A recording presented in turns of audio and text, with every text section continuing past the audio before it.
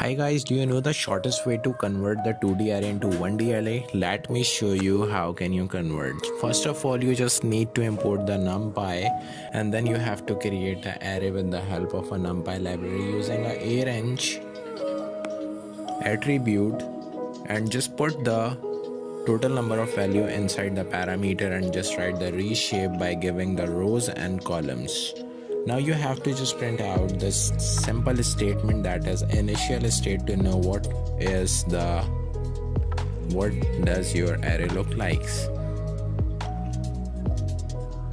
Then afterward you have you just need to print the function that can easily convert the 2d array into 1d array. So we can write it like a final state.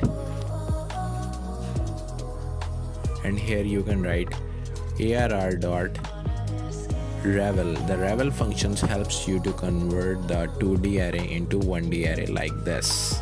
So this is how simply you can do it.